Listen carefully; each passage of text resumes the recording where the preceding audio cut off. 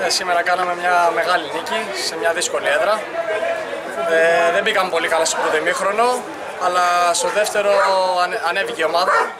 Δείξαμε χαρακτήρα και, και πήραμε το τρίποντο που πολύ το θέλαμε. Πρέπει να προσέχουμε να μπαίνουμε δυνατά στα παιχνίδια και να μπαίνουμε τους τρεις πόντους, γιατί έχουμε στόχο να, να κάνουμε πρωταθλητισμό. Ε, εντάξει, έχουμε καλό κλίμα, είμαστε οικογένεια, έχουμε χαμηλό μέσο όρο και είμαστε αρκετά ανταγωνιστικοί. Παγγέλη, ευχαριστούμε πολύ. Να είστε καλά.